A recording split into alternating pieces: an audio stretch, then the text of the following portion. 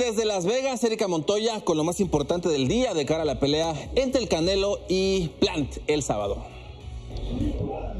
Saludos Héctor, muy buenas noches. Seguimos aquí en Las Vegas, Nevada, en donde este fin de semana Saúl El Canelo Álvarez persigue historia. Él quiere ser el primer campeón mexicano indiscutido, o sea, hace tener los cuatro diferentes títulos al mismo tiempo y se enfrenta a Caleb Plant, el dueño de la corona de la Federación Internacional de Boxeo, que es la única corona que le hace falta dentro de su colección para hacer historia. El día de hoy ambos no tuvieron eventos públicos, sino simplemente se enfocaron en recortar ya las últimas libras de cara a la ceremonia de pesaje que se va a realizar el día de mañana.